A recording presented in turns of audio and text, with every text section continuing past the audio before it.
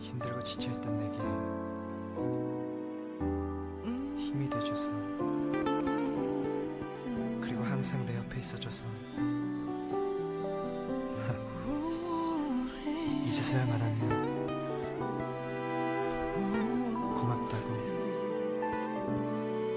그리고 그대가 있어서 행복하다고 This is for you.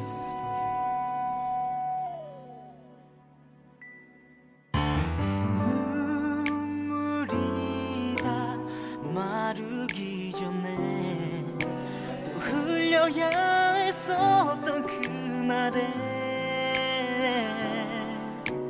어둠 속에서 내 손을 잡아줘서 아무 말 없이 지켜봐줘서